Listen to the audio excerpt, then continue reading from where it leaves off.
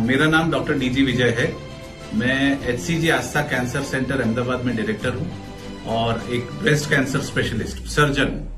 Cancer जो है, वो एक बहुत कॉम्प्लेक्स डिज़ीज़ है। इसमें एक व्यक्ति सारे कैंसर्स के और सारे इसमें जानकारी प्राप्त करना और जिस तरह से टेक्नोलॉजी और नॉलेज चेंज हो रहा है, इसमें ये बहुत ज़रूरी है कि हम कोलैबोरेट करें। तो ये एक सॉर्ट ऑफ़ कोलैबोरेशन है बिटवीन इनके जो 10-15 डॉक्टर है सनराइज के, उनके साथ डॉक्टर मनोज महाजन की जो ये ग्रुप बन रही है।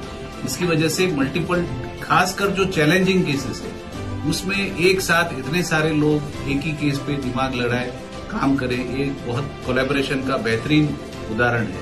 नमस्ते, मैं doctor Shirish Alorkar medical oncologist H C G Aastha cancer centre जो अहमदाबाद में आए वहाँ से आता हूँ। ऑन्कोलॉजी ऐसा होता है कि कोई एक डॉक्टर ओपिनियन नहीं दे सकता है। सपोज़ लंग कैंसर है या माइलोमा है, या बोन मैरो ट्रांसप्लांट है, या इवन आजकल कार्टी सेल मुझे भी सब चीज़ें नहीं आती अच्छी तो अलग अलग स्पेशलिस्ट सनराइज में है।